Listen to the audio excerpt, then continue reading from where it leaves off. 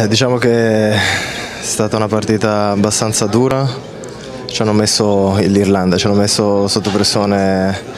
soprattutto con le terze linee, non siamo riusciti a, a respingerli come ci eravamo promessi, io da, da parte mia non mi perdono certi atteggiamenti sul placcaggio che,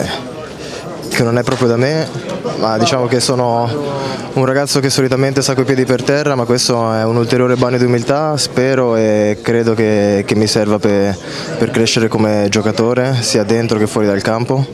ma la mentalità è già alla prossima partita, qualunque essa sia. Ah, diciamo che la prima parte del primo tempo abbiamo dimostrato sempre la nostra, la nostra aggressività, dobbiamo cercare di, di continuare a, a, tirarla fuori anche dopo, durante le fasi di fatica che è la, la parte più difficile, soprattutto il rientro in campo dopo, dopo l'intervallo, quei 10-15 minuti e gli ultimi 20, tutta la partita, la partita di rugby dura 80 minuti e purtroppo non possiamo difendere solo per, per 20, 30, 40.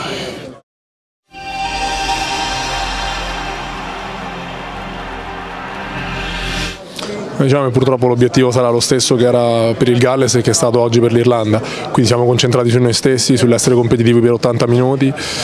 riuscire a cavalcare i momenti della partita, sia quelli che insomma, ci favoriscono, i momenti buoni cui siamo in attacco e siamo per segnare punti, sia quelli invece hanno il possesso degli avversari e ci mettono sotto pressione. Quindi non c'è mai stata pressione da parte dello staff sul risultato, questo lo sappiamo, questo non vuol dire insomma, che non scendiamo in campo per vincere, però sappiamo che la nostra sfida è incentrata su di noi. A questo livello quello che fa la differenza sono, sono, i dettagli, per cui noi dobbiamo essere molto più esigenti con noi stessi, non tanto gli 80 minuti in campo, ma ogni settimana di allenamento, ogni, ogni momento dell'allenamento, non possiamo mai permettere di abbassare l'attenzione o di, di, pensare ad altro, perché se, noi, se, non siamo concentrati al 100% in ogni secondo in cui, in cui facciamo